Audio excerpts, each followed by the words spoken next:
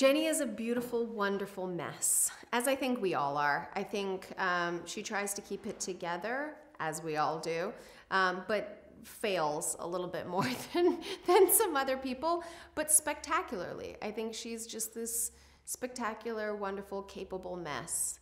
And I love that about her. I, I think Jenny's evolved a lot since the first season. I think she also is facing now a lot more um, uh, emotional trauma uh, before in season one, she doesn't know what she's feeling.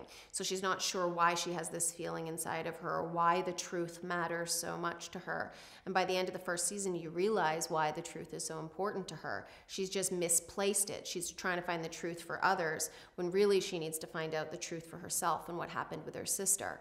But at the end of the first season, when she realizes that it was her who pushed her sister down the stairs, it was her who killed her sister.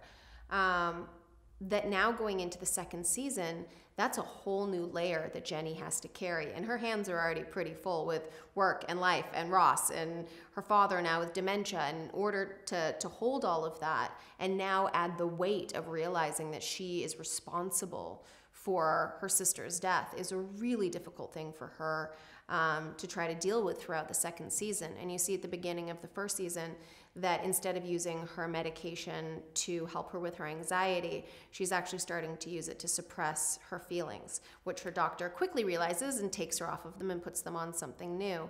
Um, so you see Jenny this season really starting to um, grow, but two like one step forwards is almost two steps back sometimes. Um, and she's becoming more and more capable in her work.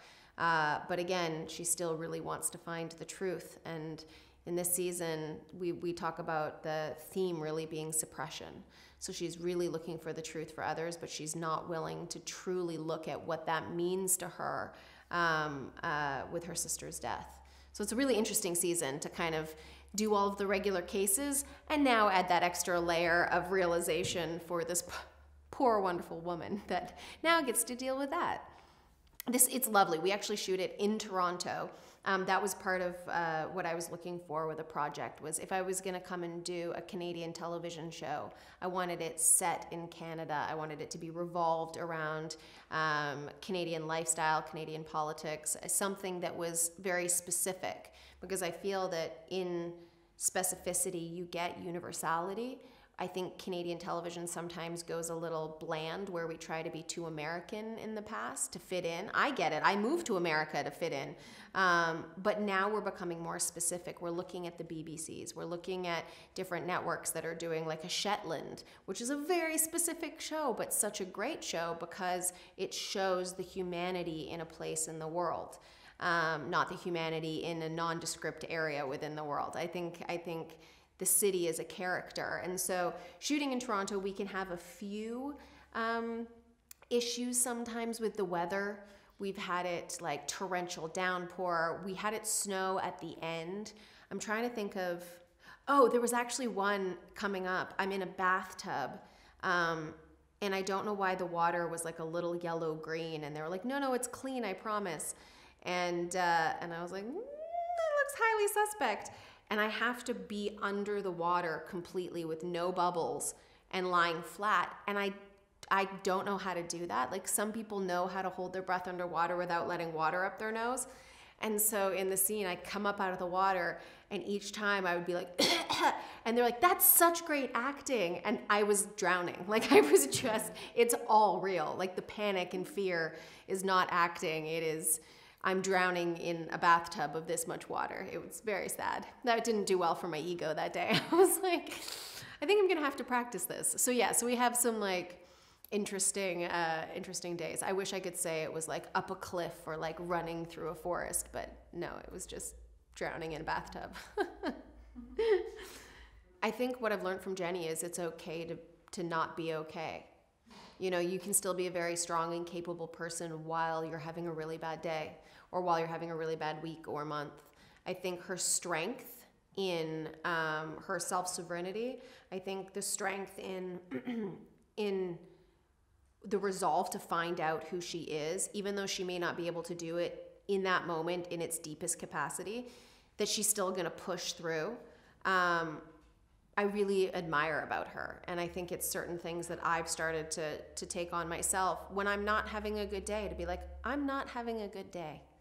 Or I'm, I feel really sad right now. Or I feel really excited right now.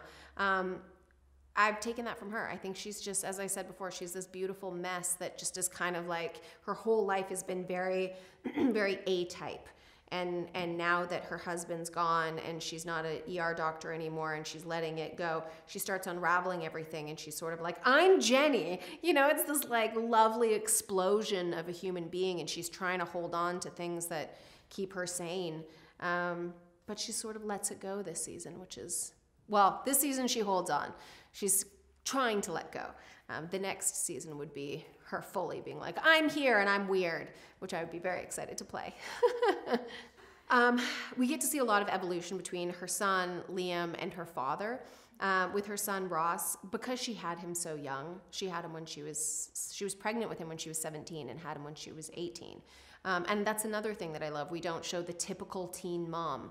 It's like, no, there's many different types of mothers throughout the entire world and they can be very capable and be very young at the same time. They are slightly codependent, which you'll see. Um, and so this season, he's not the best. He's lied to me a little bit. Um, and uh, and we we we have a lot of fun with that. I was talking earlier about there's a scene where I throw a shoe and I'm supposed to be throwing it at the wall and I got so angry I threw it right at him and it hit Ehren. I was like, oh my gosh, I'm so sorry. Um, but he's lovely, and we we laughed it off. I was like, do you need ice?